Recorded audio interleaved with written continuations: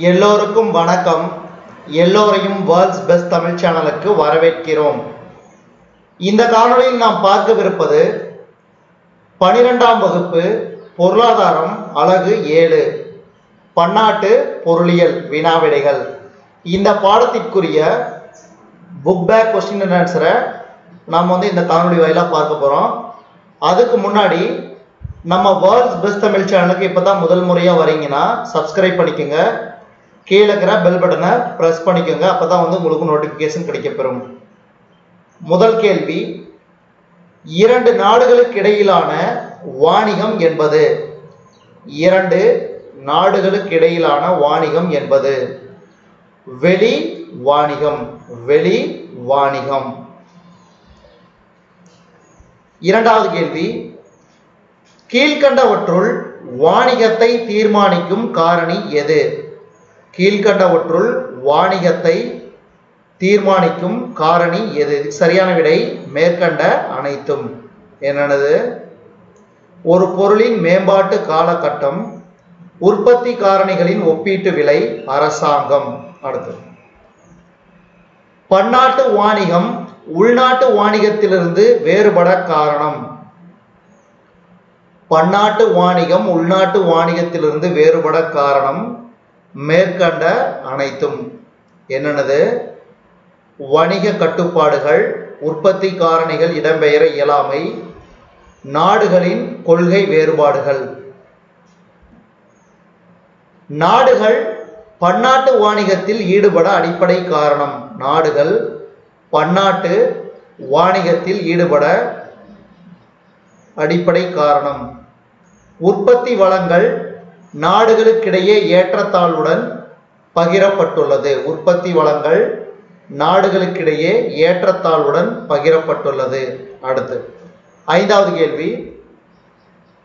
புதிய பன்னாட்டு வாணிப கோட்பாடு எதன் அடிப்படையில் அமைந்தது? புதிய பன்னாட்டு வாணிப கோட்பாடு எதன் அடிப்படையில் அமைந்தது? இதுக்கு சரியான விடை உற்பத்தி காரணி கோட்பாடு. உற்பத்தி காரணி கோட்பாடு. அடுத்து ஆறாவது கேள்வி. பண மாற்று வீதம் நிர்ணயமாகும் சந்தை. பண மாற்று வீதம் நிர்ணயமாகும் சந்தை. இதுக்கு சரியான விடை அந்நிய செலாவணி. அந்நிய செலாவணி. அடுத்து ஏழாவது கேள்வி. கீழ்கண்ட எந்த பணமாற்று நிர்ணய முறையில் சந்தை விலைகளான தேவையும் அளிப்பும் பணமாற்று வீதத்தை நிர்ணயிக்கிறது. கீழ்கண்ட எந்த பணமாற்று நிர்ணய முறையில் சந்தை விலைகளான தேவையும் அளிப்பும் பணமாற்று வீதத்தை நிர்ணயிக்கிறது. இதுக்கு சரியான விடை மாறுகின்ற பணமாற்று வீதம் மாறுகின்ற பணமாற்று வீதம். அடுத்த எட்டாவது கேள்வி. ஏற்றுமதி நிகரம் என்பது ஏற்றுமதி நிகரம் என்பது. ஏற்றுமதி கழித்தல் இறக்குமதி. தான் வந்து ஏற்றுமதியினுடைய நிகரம். அடுத்து. ஒன்பதாவது கேள்வி. கீழ்கண்டவர்களில் யார் ஒற்றை காரணி வாணிப வீதத்தை வடிவமைத்தவர்? கீழ்கண்டவர்களில் யார் ஒற்றை காரணி வாணிப வீதத்தை வடிவமைத்தவர்? சரியான விடை ஜேக்கப் வைனர். ஜேக்கப் வைனர் அடுத்து பத்தாவது கேள்வி. வாணிப வீதம் டேஸ் பற்றி குறிப்பிடுகின்றது. வாணிப வீதம் டேஸ் பற்றி குறிப்பிடுகின்றது. இதுக்கு சரியான விடை ஏற்றுமதி விலை இறக்குமதி விலை விகிதம். அடுத்த பதினொன்றாவது கேள்வி. சாதகமான வாணிக சூழலில் ஏற்றுமதி இறக்குமதியை விட டேஸாக இருக்கும். சாதகமான வாணிக சூழலில் ஏற்றுமதி இறக்குமதியை விட டேஸாக இருக்கும். இதுக்கு சரியான விடை அதிகமாக. அடுத்து. இறக்குமதி ஏற்றுமதியை விட அதிகமாக இருத்தலை கீழ்கண்ட வழிகளில் எது சரி செய்யும்? இறக்குமதி ஏற்றுமதியை விட அதிகமாக இருத்தலை கீழ்கண்ட வழிகளில் எது சரி செய்யும்? இதுக்கு சரியான விடை ஏற்றுமதி வரியை அதிகரித்தல். அடுத்து. அயல் நாட்டு செலுத்து நிலை உள்ளடக்கிய இனங்கள். அயல் நாட்டு செலுத்து நிலை உள்ளடக்கிய இனங்கள். இதுக்கு சரியான விடை முதல் இரண்டும். அதாவது என்னென்னது? புலனாகும் பொருட்கள் மட்டும் புலனாகாத பணிகள் மட்டும். அடுத்து பதினான்காவது கேள்வி. அயல் நாட்டு செலுத்து நிலை கூறுகள் கீழ்கண்டவைகளில் எவை?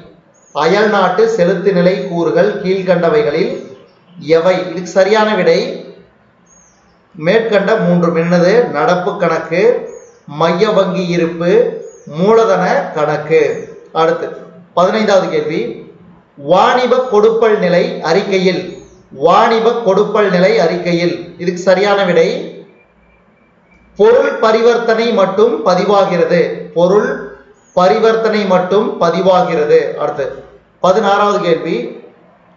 சுற்றுலா மற்றும் வெளிநாட்டு பயணம் தொடர்புடைய பரிவர்த்தனைகள் அயல்நாட்டு செலுத்து நிலையின் எந்த கணக்கின் கீழ் பதிவாகிறது? சுற்றுலா மற்றும் வெளிநாட்டு பயணம் தொடர்புடைய பரிவர்த்தனைகள் அயல்நாட்டு செலுத்து நிலையின் எந்த கணக்கின் கீழ் பதிவாகிறது? சரியான விடை.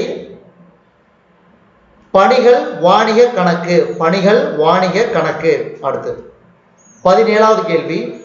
சுழற்சி அயல்நாட்டு செலுத்து நிலை சமமற்ற நிலைக்கான காரணம். சுழற்சி அயல்நாட்டு செலுத்து நிலை சமமற்ற நிலைக்கான காரணம். இதுக்கு சரியான விடை மேற்கண்ட இரண்டு என்னது? அ, அதாவது வாணிக சுழற்சியின் மாறுபட்ட காலகட்டம் வருவாய் மற்றும் விலை தேவை நிகழ்ச்சி நாடுகளுக்கிடையே வேறுபடுதல். அடுத்து பதினெட்டாவது கேள்வி. கீழ்கண்டவைகளில் எவை வெளிநாட்டு நேரடி மூலதனத்திற்கான உதாரணமாக கூற முடியாது. இதுக்கு சரியான விடை வெளிநாட்டு துணி நிறுவனம் வெளியிட்ட பங்கு அல்லது கடன் பத்திரத்தை வாங்குவது. அடுத்து பத்தொன்பதாவது கேள்வி. இந்தியாவில் வெளிநாட்டு நேரடி மூலதனம் அனுமதிக்கப்படாத துறை. இந்தியாவில் வெளிநாட்டு நேரடி மூலதனம் அனுமதி அனுமதிக்கப்படாத துறை. இதுக்கு சரியான விடை அணு ஆற்றல். அணு ஆற்றல். அடுத்து. இந்த காணொலியின் கடைசி கேள்வி கோட்பாட்டு முறையில் அதாவது கோட்பாட்டு அடிப்படையில் வெளிநாட்டு நேரடி மூலதனத்தின் நன்மைகளாவன. கோட்பாட்டு அடிப்படையில் வெளிநாட்டு நேரடி மூலதனத்தின் நன்மைகளாவன. மேற்கண்ட அனைத்தும். அதாவது பொருளாதார வளர்ச்சி பன்னாட்டு வாணிப வளர்ச்சி வேலைவாய்ப்பு மற்றும் திறன் அதிகரித்தல் இவை மூன்றும்.